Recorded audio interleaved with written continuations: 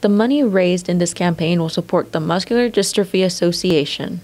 Captain Dave Yeager says this fundraiser has helped some of his fellow firefighters who have been diagnosed with muscular dystrophy. It's a good cause. Um, a lot of people are generous, they make it work for us.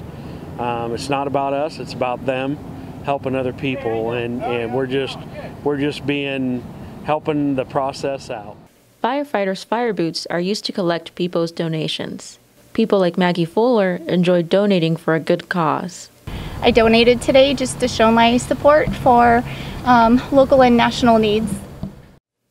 Barbara Keller tries to donate whenever she can. I always donate to the MDA. It's a good cause.